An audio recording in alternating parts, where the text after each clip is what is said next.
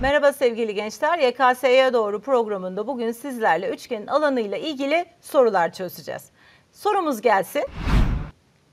Aşağıda verilen ABC üçgeni DE boyunca kesildiğinde bir nolu bölgenin alanı iki nolu bölgenin alanının 2 bölü 5 katı olmaktadır. AD doğru parçasının uzunluğunun AB doğru parçasının uzunluğuna oranı 1 bölü 2 olduğuna göre AE doğru parçasının uzunluğunun EC doğru parçasının uzunluğuna oranı kaçtır diye sormuş. Üçgenimi çizeyim.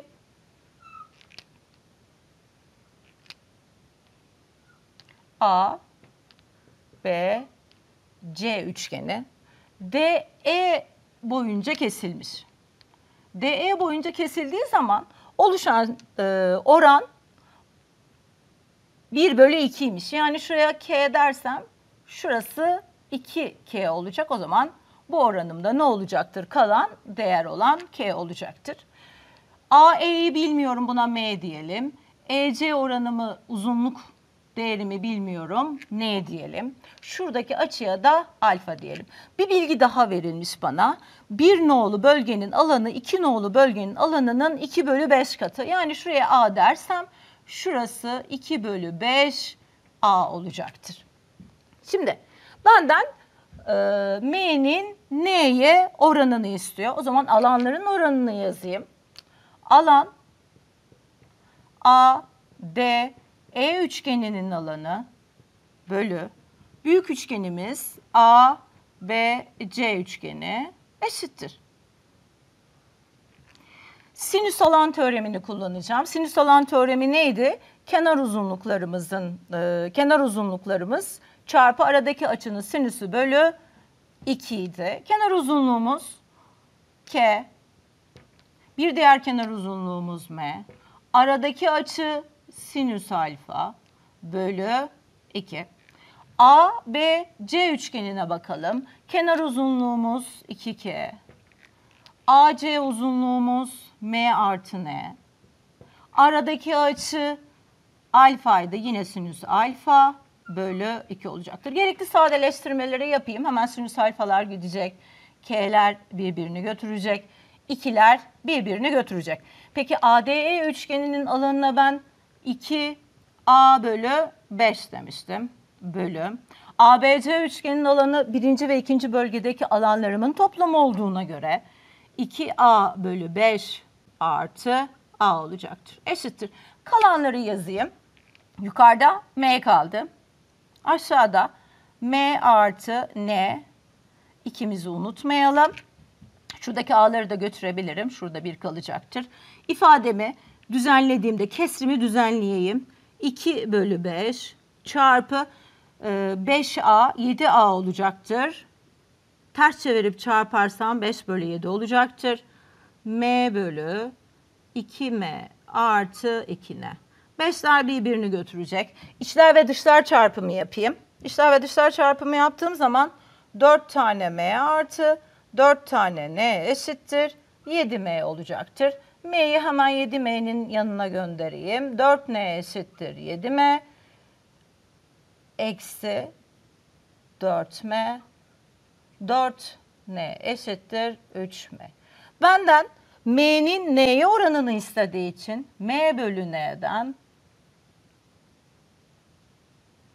4 bölü 3 olacaktır. Ve doğru cevabımız D seçeneğidir. Sorumuz gelsin. Şekil 1'de ön yüzü yeşil, arka yüzü mavi olan ABC dik üçgen şeklindeki kağıdın B köşesi AD doğru parçası boyunca katlandığında B üstü noktasıyla çakışacak biçimde şekil 2 elde ediliyor. BD doğru parçasının uzunluğu 3 cm, B üstü C doğru parçasının uzunluğu 4 cm olduğuna göre mavi renkli bölgenin alanı kaç santimetre karedir? Şekil 2'yi çizeyim.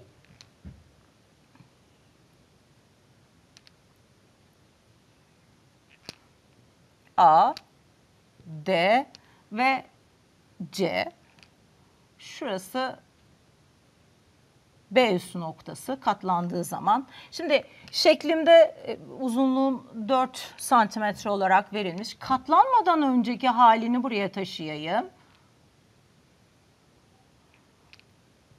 Evet. BD uzunluğumuz da 3 olarak verilmiş. Şimdi DC boyunda katlandığında BD ile DB üst üste geldiğine göre bu ikisi birbirine eşit olacak ve bu uzunluğumda 3 santimetre olacaktır. Şimdi katlandığı için buradaki açım alfa ise ölçüsü, buradaki açımın değeri de alfa olacaktır. Evet, şurada da yine aynı şekilde katlandığı için B köşesindeki açım 90 derece ise B üstü köşesindeki açımın da 90 derece olduğunu görürüm. Hemen 3, 4, bu bir dik üçgen olduğuna göre dik üçgen olduğuna dikkat edin. 3, 4, 5 dik üçgeni olacaktır. Peki açıortay teoremini hatırlayalım. Açıortayın kollarına inilen diklerin uzunlukları eşit. Aynı zamanda kollarının uzunlukları da eşitti. Şuraya A dersek o zaman bir diğer kolumuz da A olacaktır. Büyük dik üçgende Pisagor bağıntısı yazayım. A'nın karesi artı 8'in karesi eşittir 4 artı a'nın karesi. Bu ifadeyi yine açmayacağım. 6, 8, 10 üçgenimizi hemen hatırlayalım dik üçgenimizi. A yerine 6 yazdığım zaman zaten ifadeyi sağladığını göreceksiniz. Demek ki A'nın uzunluğu 6 santimetreymiş. O zaman şuraya hemen 6 yazabilirim. Benden mavi bölge. Bakın mavi bölgeyi şöyle tarayayım bu üçgenin alanını istiyor. E bu üçgen bir dik üçgen olduğuna göre alanım o zaman ne olacaktır? Alan A, D, B üssünün üçgeninin alanı dik kenarların çarpımı bölü 2 olduğuna göre bir diğer kenar bir kenarımız 3, diğer diğer dik kenarımız 6 olduğuna göre sadeleştirelim ve 9 santimetre kare buluruz ve doğru cevabımız A seçeneği olacaktır. Sıradaki soruyla devam edelim. ABC ikizkenar üçgeninde K, BC doğru parçasının elemanı, AB doğru parçasının uzunluğu AC doğru parçasının uzunluğuna eşit. BAC açısının ölçüsü 30 derece. AK doğru parçasının uzunluğu 8 santimetredir. Yukarıdaki ABC üçgeninde K noktasının AB doğru parçasına göre simetri R noktası, AC doğru parçasına göre de simetri S noktası olduğuna göre ARS üçgeninin alanı kaç santimetre karedir? Üçgenimi çizeyim.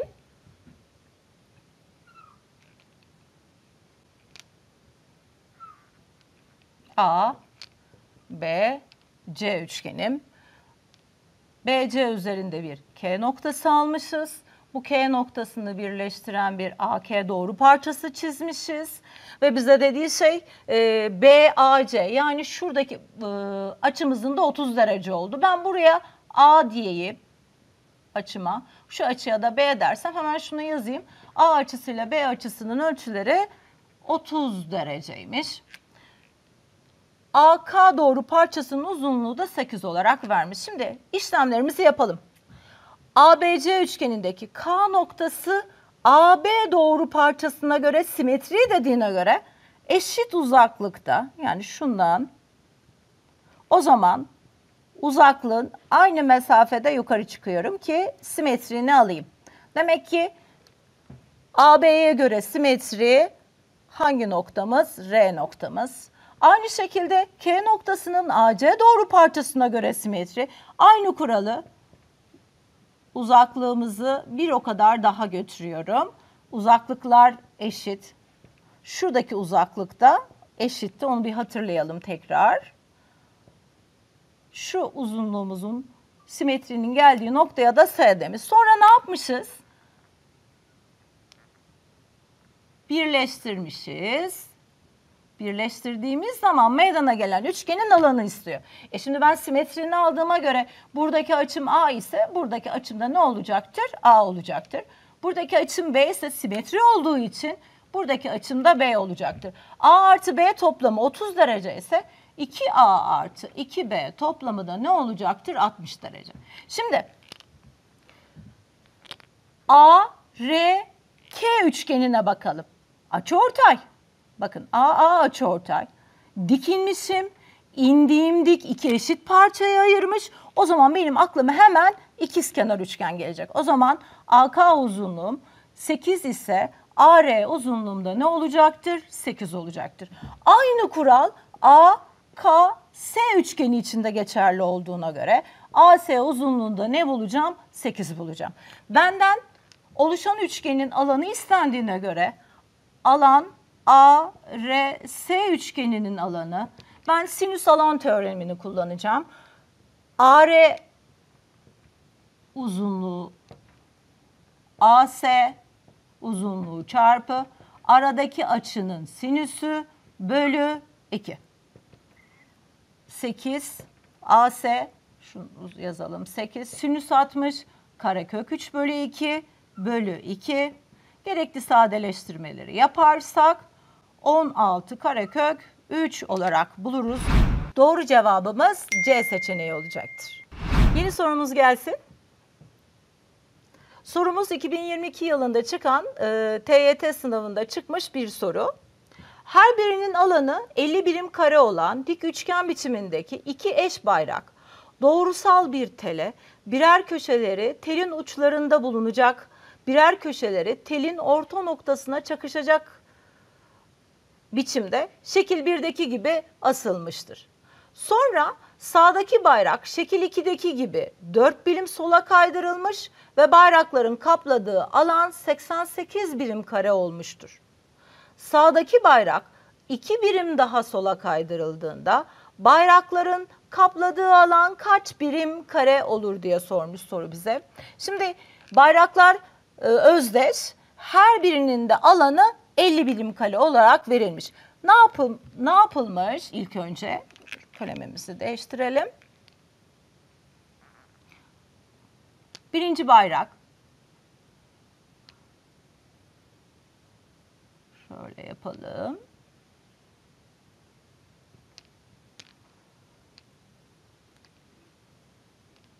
Şu uzunluğumuz 4 birim olarak verilmiş. Kaydırıldığı zaman kaydırıldığı zaman olan alanın bana 88 santimetre kare olarak veriliyor. Birim kare olarak veriliyor pardon. E, başlangıçta iki tane e, bayrağın alanları toplamı nedir? Yani bayrakların alanları toplamı 50, iki tane bayrak olduğu için 100 olacaktır. E, bu bayrakları 4 santimetre kaydırdığım zaman 88 oluşuyorsa 100 eksi 88'den şu aradaki alanımın 12 olduğunu görürüm. Sonra ne yapıyorum? Ben bu bayrağı 2 santim daha kaydırıyorum. Yani şöyle yapıyor. Şuraya kadar bir 2 santimlik daha kaydırıyor. Yeni bir şöyle kenarlarını maviyle belirginleştiriyorum. Yeni bir üçgenimiz elde ediliyor. Şuranın alanını bilmiyorum. Ben buna A diyeyim. Paralel olduğu için benzerlik oranını kullanacağım. Küçük üçgen 4. Büyüğün uzunluğu 6 eşittir. Sadeleştirelim. 2 bölü 3 olacaktır. Şimdi benzerlik oranının karesi üçgenlerin alanları oranına eşitti. Bu bilgiyi kullanacağım. 2 bölü 3'ün karesi. Küçük üçgen 12. Büyük üçgen 12 artı A olacaktır. 4 bölü 9 eşittir. 12 bölü 12 artı A olacak. Sadeleştirmelerimizi yapalım. 3. 27 eşittir. 12 artı A.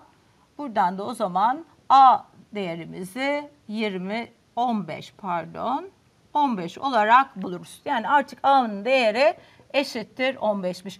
Bizde e, en son durumdaki bütün alanı istediğine göre şimdi iki tane bayrağın